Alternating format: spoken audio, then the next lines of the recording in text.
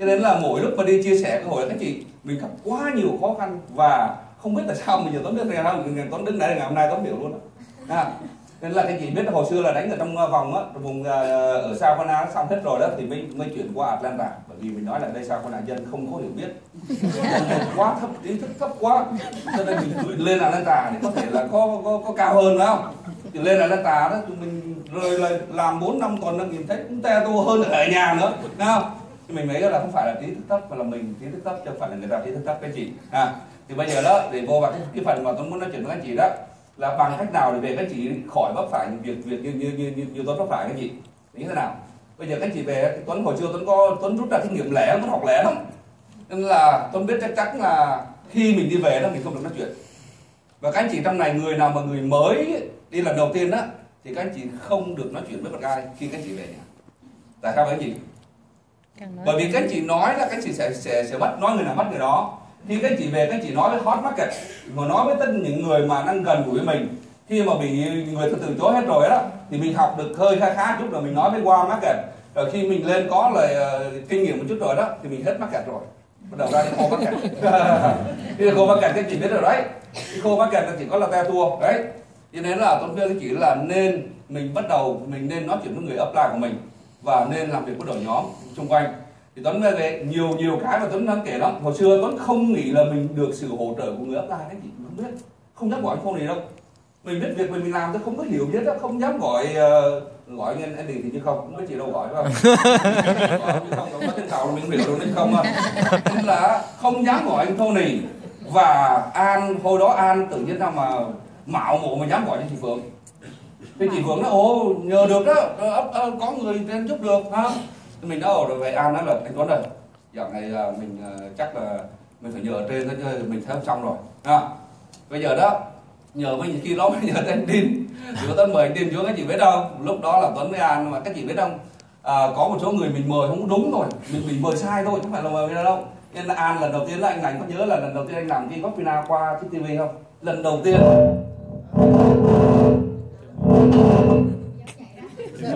Mới mình à đúng vậy à. Cho à. nên là các chị biết là lần đầu tiên đó là anh lành làm qua cái cái, cái màn ảnh và an mời tuấn tới đó thì an mời anh tuấn ơi mời bạn anh tuấn tới chơi đi nhá.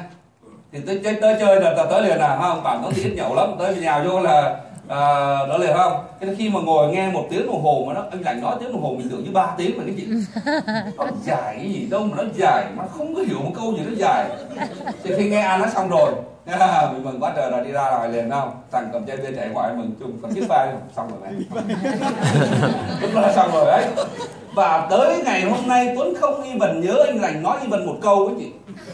Tuấn không nhớ y vần anh lành nói một câu luôn không nhớ luôn. Đấy và sau cái đó rồi là khi mà tuấn đi công ty về rồi đó thì khi mà làm theo tour rồi mình mới biết được là có sự hỗ trợ. Cho nên là mới uh, rước thầy đinh về. À vì mình nói lúc đó là anh đinh là blue diamond qualify blue diamond anh đinh. À, ờ, là người là nổi tiếng hồi đó mà qua lefa Blue mình là anh chị phải nói là ghê gớm lắm. Hồi đó là ở chắc thì cũng là ghê gớm. Cũng một thời mà phải nói là anh Tony đứng mà anh chị biết anh Tony đứng cả hàng sắp hàng chụp hình anh chị biết vậy hỏi ông cái gì đó anh chắc thì anh Tony đứng mà nói là mình không biết chuyện chắc thì cái gì mà hỏi ra đó là anh Tony là gì vậy anh chắc thì thì bây giờ các chị ở trong này đó ai nếu mà ai dắt thì cho đặt pháo tay các chị à thì các chị biết là khi mà quay Tuấn quay về với cái, à, với cái cảnh đó thì Tuấn với An mới nói là nhờ anh đi xuống. Thì lúc đó các chị biết Tuấn mừng cỡ nào không?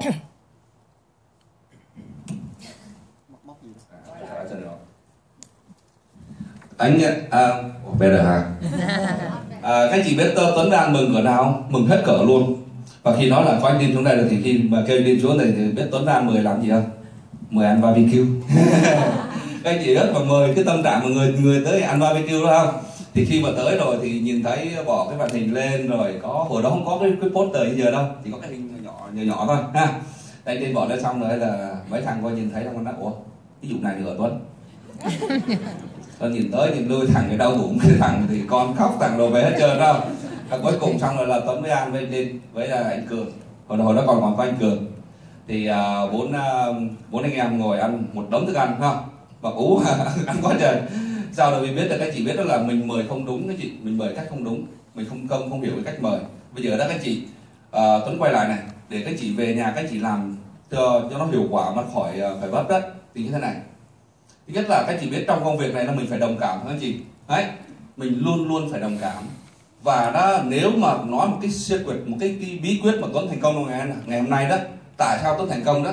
Thì chỉ có một cái cái gì cái gì cái gì? Mời đấy invite đấy. Nên là tuấn là một người tuấn đưa người về công ty nhiều nhất. Và khi invite theo các chị?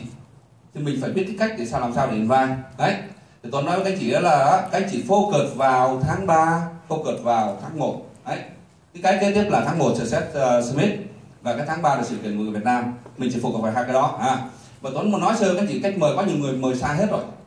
Mình đi xa hết rồi Tuấn chỉ không có thời gian nhiều Tuấn chỉ cái cách mời nhá. Mình luôn luôn phải đồng cảm với người ta các chị. À, mình không đồng cảm thì thì thật bét hết. Tuấn thí dụ như sample thôi nhá. Thí dụ thôi. Thì thí dụ mời chị Phượng đi. Đấy. Mời chị Phượng đi giữ một cái ờ, uh, BB ngày mai của nhà. Đấy nhưng mà chị Phượng chỉ nói là ô uh, chắc uh, mình không chị không đi được Tuấn ơi. Chị ngày mai chị phải đi mua đôi guốc guốc cao chứ chị chưa đủ cao ha? Thế chị phải làm sao? Mình đừng có nói là chị cao quá rồi đâu được phải chị không nhưng mình phải đồng cảm lên chị chị đồng cảm lên chị đúng rồi em cũng nghĩ chị chị cũng phải mua guốc cao chị đi chưa đủ nhón chị đi một cái từng này chị phải hơn lên cái nữa không? Cho nên vì mình luôn luôn đồng cảm phải không chị ha?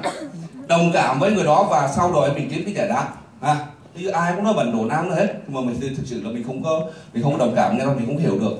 Cho nên là đa số mình cãi không à. À, mình cãi thế nào? Nhưng người ta nói là ồ mình hôm nay bận con thì mình câu đầu tiên mình nói sao? Nhờ người gửi con đi trời gửi con đi đấy. Đa số là mình đi vào cái cái cái cái cái cái, cái, cái mà đi ngược lại với người ta đó. À cho nên đó là nếu một cái siêu secret một cái bí quyết đó thì mình tuấn nghĩ là cái cái đồng cảm hay nhất là chị. Tại sao phải đồng cảm hả chị? Mình đồng cảm có nghĩa rằng đó là cái kỹ năng lắng nghe là cái kỹ năng phải nói là cần thiết nhất trong công việc chúng ta làm được, anh chị. Mình phải lắng nghe. Nên là hồi xưa là mình đi nhậu, đi chơi thì nói gì cũng được hết, ai nói gì cũng được hết, nhưng mà bây giờ các chị ngồi nghe đi. Đấy. Cho nên khi mà bây giờ tuấn không có, mình ngồi nghe mình mới hiểu được liền cái người đó muốn cái gì. À và người ta đang gặp được cái phải cái gì để mình có thể gỡ người ta được. Đấy.